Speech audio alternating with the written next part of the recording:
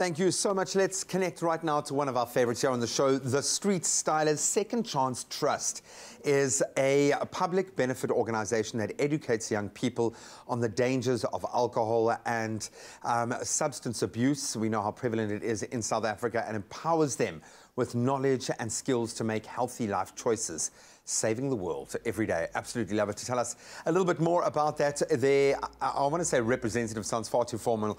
Um, one of the brothers um, in the mix there, Blake the Champ Williams. Blake, always love having you here because we get to see you dance first and foremost. So um, really cool to have you here. How did you get the name the Champ? How many times did you have to win until you were called the champ, dude? I won world championships twice. 2010, 2011. Did they used to call you the champ after the first one, or do, even before they even began? I think it settled in after the second one. Dude, you've certainly earned it. I think on one side, obviously, dance gives you an opportunity to, to be an athlete, to yeah. push, in your case and your, your crew, push the physical limits with some of the stuff that you're doing, which is awesome. But there is nothing more powerful as a developmental tool than mm. dance. Yeah. You get to experience it every day, freeing yourself, letting go, just doing that. The second chance, what is a second chance to you? What does that mean? So basically, Second Chance is the PBO Trust, as you said, and they allow us the platform to connect with the kids at the schools. So Street Stylers is the dance crew. We've been doing our thing, we've been representing the country, but Second Chance is actually focusing within the country, doing school tours, traveling around, giving us the opportunity to teach dance to the kids and use it as a medium to inspire the kids as well, to become the best they can be.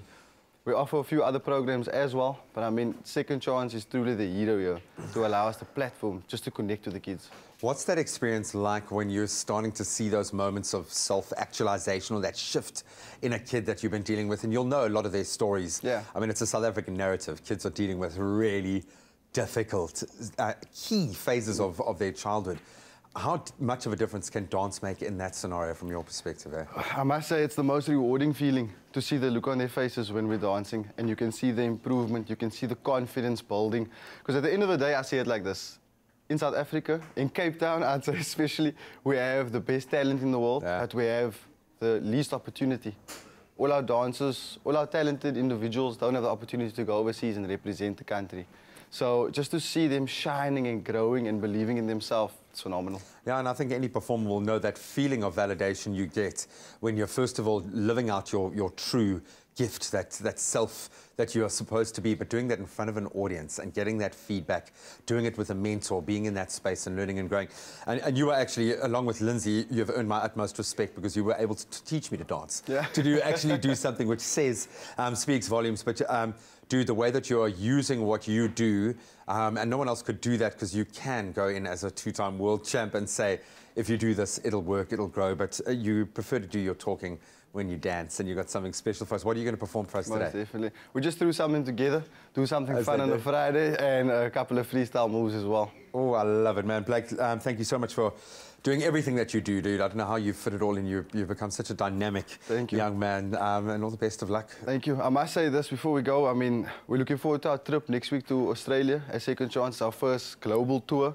Dominate. We, yeah, we, we, usually do uh, local tours. We go to Port Elizabeth, East London, Johannesburg, Durban. But for the first time, we're going to Australia. So really looking forward to that. Oh, man, you've earned the right. Uh, please pass on our best to all of the young dancers that you're taking with. Uh, I'm sure mm. you guys are going to shine that light. But um, we'll get a little taste of what you do with some uh, freestyle moves, as he said.